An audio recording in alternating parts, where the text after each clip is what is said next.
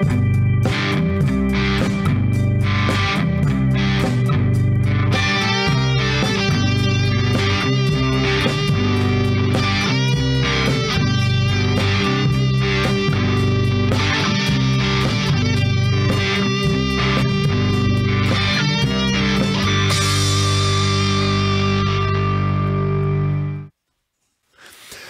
again. Um, my name's Rob Foster, and I am a generative AI enthusiast. So, welcome back to my second webcast. Um, happy to see you back. If this is your first time, welcome. But um, I wanted to um, introduce this webcast as an extension to the first webcast that I did. So, um, in the first webcast, what, what I did was introduce some very basic topics for how do you call these large language models if you want to extend from that breadth type of solution, which is like a Copilot or a Google Gemini or something like that, um, something that integrates with a tool that's you know a vendor tool um, to something that's a little more niche to your business. So something that's more in the depth realm to where you can customize it, you can you can teach it and give it prompts that are very niche to whatever you're trying to do. Um, and so in the first example, what we did was we started building basic prompts, and um, we wanted I wanted to kind of introduce some concepts that I've learned, put it all together into something that makes sense and something that we can build off of. And so once you figure out actually how to um, to call the the APIs and, and really start being able to, to pass this information in or these prompts into the large language models, that opens up a lot of power to you because then you just need to add little things on a time to make it really powerful. And that's exactly what we're going to do today. So, in today's example that we're going to walk through, what we're going to do is we're going to walk through the concept of you're reviewing uh, request for proposals. And what you can do is you want to be able to not only summarize these documents, but also submit winning bids or get information from the documents so that you know what you need to submit to, to execute a winning bid for this proposal. I've done it with some public documents um, that are out there on the web. And um, looking into um, the state of Tennessee, I live in Tennessee. Um, so, uh, in, in most states in the US, provide um, these open opportunities for um, if you've got a company that has a specific skill set that the state's looking for, they put their RFPs on a website that you can go and, and start you know, downloading them and submitting the RFPs for or start bidding on them. And so that's what this website is. And you can see I've got a bunch of RFPs out here that I can I can download, and I've downloaded three. Um, I'll probably just cover one in this example, just because it's um, it's fairly small and and and everything. But um, this one that we're going to look at first is this one, where they're actually looking for um, the Department of Correction is looking for some training, and they basically are looking for trainers um, to do that. So this is a PDF. It's it's not too long. It's it's six pages long. Um, so it's not it's not very long, but what I'm going to do is I want to um, I would like to go back and and take the exact code that we did that we used in the first video. Um, if you haven't seen the first video, it's a link to it below, um, and um, what we're going to do is, is extend that just a little bit to where the prompt we're going to use is basically going to read a PDF document. It's going to pass that PDF document as part of the prompt with a set of questions um, to, to actually run against the um, run against the document.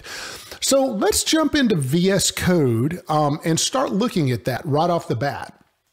So if you've if you followed along with the um, with the example before um, with my first video, should look very this should look very familiar to you because I literally just copied and pasted the file into a new file and just added a few more lines.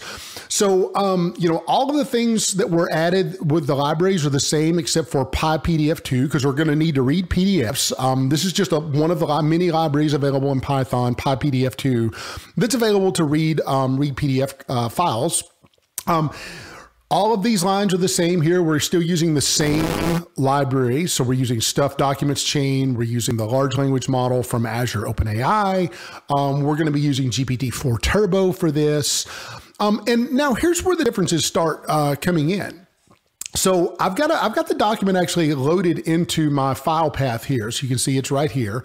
Um, so what I've done is I've created a doc path directory with the name of the file since it's in the same directory, and then I'm actually opening. This is all standard code, right? So I'm I'm just opening the document with the PDF reader, and then I'm extracting the text from the document into a variable called doc text. So basically, read the PDF pull all of the text from the PDF and put it into this doctext variable. And then what I'm going to do is I'm going to have a prompt that just says summarize this document, and I'm going to put the RFP in here when we execute this prompt. Um, so all of these other lines are exactly the same. So we're setting up Azure Chat OpenAI. We're setting that up as a large language chain, large language model chain with Azure OpenAI and the prompt template that we've got built. Um, then we're going to do the same thing with the stuff chain. We're going to basically pass in the document as a variable called text, which is right here, right in our prompt. Um, now here's here's a key difference here is that we're we're chunking it just slightly different. So um, I believe in the last example we used a thousand characters. Here I'm upping that to a hundred thousand characters just so that I can get the whole document into the chunk um, and and start splitting that um, into a single chunk. So then I'm just going to go out there. I'm creating our documents from our chunk or from our, our from our text um, document. And then I'm just going to pass those documents into or that document into the large language model using the invoke method and then display the result. So again, we're summarizing the document. We're passing the document in here. And let's just run this right quick and see what happens.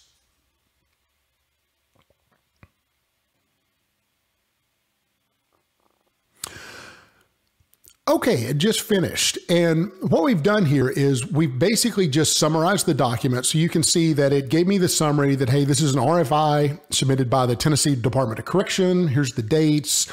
Here's what they're seeking, blah, blah, blah. Just a basic summary. And you can see that it costs um, six cents to read that document, roughly, you know, almost seven cents uh, to read that document um, and provide this summary.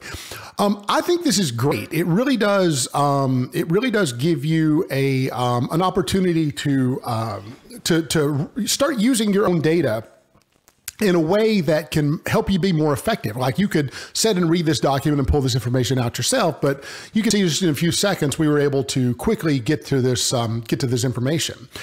Now one of the great things about this, because we're using a large language model, you know, our prompt, if we're going back into the prompt um, into here, so let's go back to our prompt template um, back up here.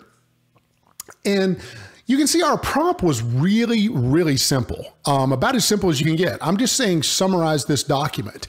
Now, what I, what I might want to do is I might want to give it a more advanced prompt because I might be looking for specific things out of these documents um, that are relevant to what I'm trying to do to submit a winning bid. So I'm just going to paste a prompt that I wrote here into the um, into the prompt window.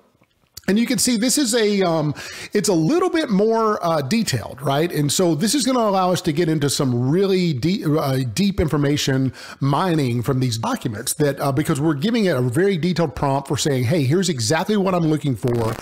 I know this is an RFP. Here's some context, and then here's the document. So you can see, um, very first thing I'm doing is saying below is an RFP document. So I'm telling it this is a document that is an RFP. Um, you know, so it, it's going to know inherently what that is. So the large language models know, know what what an RFP is, and you're telling it that you need to respond to this. And I'm aiming to craft a winning bid. To achieve this, I require your assistance in thoroughly analyzing the document below. And then I start giving it some things that I want to extract out of here. So I want to create a summary for the document. So tell me what the summary is, give me the primary objectives and goals, the scope of work, and any specific deliverables. Um, I want to know the compliance checklist. So tell me whether what are the mandatory qualifications or certifications that are required for bidders. Um, you know, or any specific uh, specific legal or regulatory standards, you know, things that I need to know to be uh, compliant with this bid. Um, any evaluation criteria, so anything regarding pricing or quality or you know how, how the, the solution should be built, the timelines and all of that. Um, I'm asking it to um, identify any questions that it has about the document. So if there's anything in the document that's ambiguous that might need some follow up, um, give me a list of questions that I can ask upon submitting. Like, hey, I need to know this more detail or follow up with this. Um, give me any strategic insights based on the analysis of the RFP. So, any unique selling point or competitive advantages that uh, we should highlight in our response, potential areas for partnership or collaboration, and any innovative appro- uh, uh, approaches. List the schedule of events. So, when are these things due? When's the project due? When's the RFP due? All of that. Um, is there a risk assessment involved here? So assess any potential risks um, or challenges identified by the RFP. Um, so highlight that so I'll know going in. And then the goal is to use this analysis to inform our proposal strategy, ensuring that our submission is not only compliant, but also um, is compelling and aligned to the issuer's needs and preferences. Um, so the below is the RFP. So you can see that before we got this kind of just basic summary. Um, now let's run it again and see exactly what we're going to get um, out of the um, out of the model.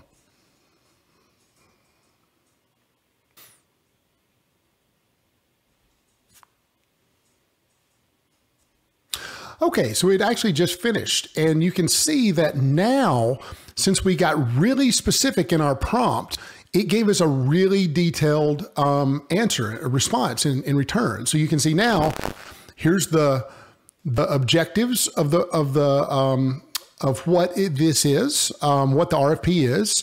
Here's the scope of work. Here's the specific deliverables that it outlines. Um, you know, compliance checklist, uh, and there aren't really any um, legal or regulatory standards um, mentioned in the documents, which tells you that. Uh, here's the format and deadline when when this RF uh, RFP should be responded to. Uh, you got your uh, required documentation forms that are needed, uh, evaluation criteria, questions and clarifications. Um, so this is you need to like the first thing it asks is, hey, there may be any some insurance requirements for the trainers. So what what are those? And, and you might need to follow up with the client for that or with the the um, submitter for that. Um, strategic insights, here's the schedule of events, the risk assessment. And you can see that this didn't cost much more. It cost 10, uh, 10 cents roughly to, um, to execute this, or almost 11 cents. Um, so it's really, really good uh, at, at exporting this information out. Now, um, what I've done here is I want to I want to just look at this and as you start thinking about your prompting and um, i want to talk a little bit about prompting for a second. And um, the prompting really is getting into the details the more detailed your prompts are the better results you're going to have. So as you start thinking about prompting um, you can see that we started you can back up to the video and, and watch we started with a very simple prompt that says give me a, just summarize this document for me which is great and it's very handy. But as we started to get more more detail detailed and nuanced for what our answers needed to be. Um, our prompts obviously got bigger, but we also got much, much better, more refined responses out of the large language model. So um, don't be afraid to experiment with prompts. Now, this was not my first uh, go at, at, this prompt. I did several iterations to get to the information I wanted. Um, and you can also use large language models to help you um, uh, build these prompts out. So I actually used ChatGPT to help me. I just said, "Hey, I'm looking to submit or to respond to an RFP. I'm looking for a prompt that I can send into ChatGPT along with a document. Can you help me?" And I worked over several iterations um, with that to actually help refine the prompt. And that's actually how we got to the prompt that we have today uh, that I just showed you. So um, prompting is key. It's going to be key to this. And whether you build a prompt wizard into your applications or tools to help your um, you know your, your end users, um, it's going to be important because it's going to really have a direct impact on how successful they are with using your system or not. So, um, as you start building this, think about how people are going to start talking to this thing and asking it questions, and give them help um, as as needed as you can. Um, so uh, now I want to extend this just slightly. I want to look at the basically the same example, and um, if you're a coder and you're looking at this and this information, this looks great, right? I mean, this this is great. You understand this, but if you're trying to submit this idea or, or kind of uh, propose this idea to an executive team, they're going to hate looking and seeing anything related to any kind of code. And a lot of times when you pull up code, they it, it tunes uh, leadership tends to tune out because they you know this this is not this doesn't matter. Um, and especially like the way this looks, right? It's just it's all text. Um, and it's just a text output, and it's great. It gives you this. You can copy and paste this out. Um, but I wanted to actually um, talk about as you start doing these ideas and you start building these things out to show to people, you can quickly and uh, very rapidly prototype um, a web experience around this. There's a um, there's a platform out here uh, that's part of Python called, called Streamlit, and um, this is not a Streamlit helper video, but I'll, I'll kind of give you some some tips here. Um, but but basically, Streamlit will help you quickly um, put your ideas to something that's way more visual than what you'd see in um, um, in, in, just by pulling up VS Code and executing it. So you can see I'm, I'm, I'm, creating a Streamlit object here called ST, and then I'm setting things like the title of the of the web page. Um, I'm going to upload a file, so I'm going to say, hey, you know, only allow me to upload PDFs, and I'm just going to be able to drag and drop these in. I don't have to write any other code, any other JavaScript, or um, anything about that. I just I just basically set this up. This is all documented on Streamlit's uh, documentation, by the way. But you just set this up, and you've got file uploader. Um, and then you basically go in and do the same thing. You read the document, um, and then you, instead of outputting or printing the response, I'm just writing this back to the page. So I'm just writing the um, the response output text, and then the tokens and cost, and this. But other than that, it's roughly the same code. I mean, it's exactly the same code that we just we just executed.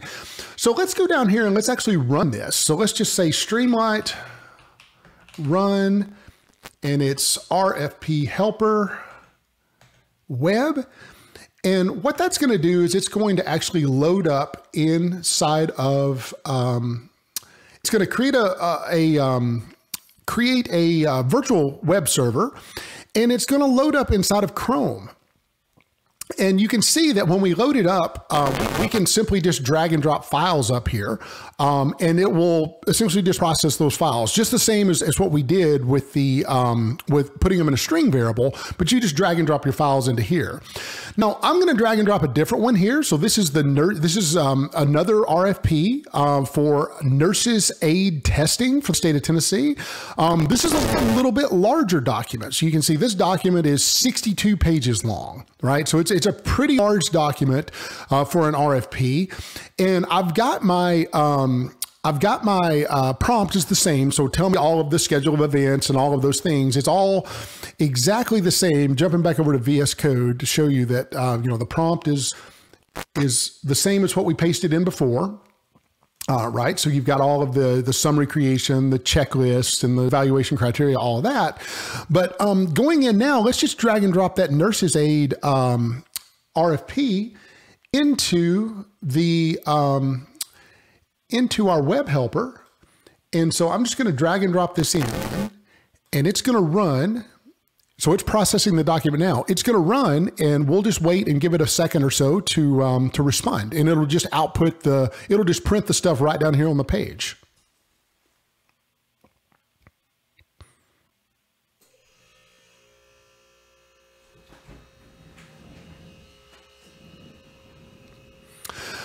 Okay, and it just finished. So you can see I've actually got this. Um, there were some errors here because I did put it in Markdown, but it um, it actually output this. So it's got the summary creation. Um, it's got the all of the things we've got here. It's got the compliance checklist um, for qualifications. It's got the evaluation criteria. Uh, any questions and clarifications that we got, strategic insights, and then the schedule of events. Um, and the risk assessment, and it, it just put the the total cost down below as well. So um, it it actually um, it did a really good job of reading that and um, and and and submitted that, but it did it in a way that you could actually show people. So if you're doing a demo of this, I would highly highly recommend uh, doing all your demos in a in an environment that are, it doesn't freak anybody out that's not a coder. So um, so that's really um, what I wanted to show you here um, with, with, that. Um, building on this uh, with with our basic skills. Now, what's good about this? It just works, right? You paste the whole document in, uh, you ask questions, it responds. Now, there is somewhat of a, a, bad thing that happens there too, because your context, your, your documents are very large, your prompts are very large. So that can add up cost, right? If you're pasting in a prompt of 100,000 characters, that could add up cost. It does work with G- GPT-4 Turbo because you can paste in, you know, 128,000 uh, tokens um, and, and uh, into the context of a, of a prompt, it'd be just fine. What happens though is that um, over time, that's just going to be if you're processing a document multiple times you're going to have to process the whole document each time you ask it a different question right? So that's going to add up in costs so what we're going to cover in the next set of video or next video is called um, vectorizing these documents. And this really is the core of retrieval augmented generation, where we're going to do pretty much exactly the same thing we just did, except we're going to load our document into a vector database as chunks of the document. And I'll figure out what the chunk sizes are, and we'll talk about that. And then we'll start asking questions about this document. And then what it will do is we'll first ask questions about the uh, about the document to the vector data database to say, give me relevant chunks of the document that makes sense to whatever I'm trying to ask. And so now instead of the whole document that we have to pass in, it might return four paragraphs that says, here's the four paragraphs that contain all the information you need to build the answer to this question. And then you only send those four paragraphs off to the, um, to the large language model. And that's going to significantly shrink the size of your prompting that you have to do, which is obviously going to impact costs. So if you're doing this in a very high flow scenario, you've got a bunch of people uh, wanting to respond to RFPs or whatever you're doing with documents, um, you want to minimize that cost as much as possible. And this is really um, the next video is where we're going to get into that. And that's, that's going to really round us out into the retrieval augmented generation. So we started out building the basic skills for how do you query this, um, how do you query the large language models. Now we're starting to pass documents and prompts in to the large language models as a whole. Um, and then again, in the third video, we're going to go into vectorizing these documents and passing chunks of the documents that's in. So that's all I wanted to cover today. Um, uh, please reach out to me if you have any questions. You can find me on LinkedIn. Um, but um, happy to answer any questions you have. And um, but anyway, until the next video, thank you for your time. I hope you enjoyed it. I hope you're getting value from this series, and um, we'll see you in about a week or so.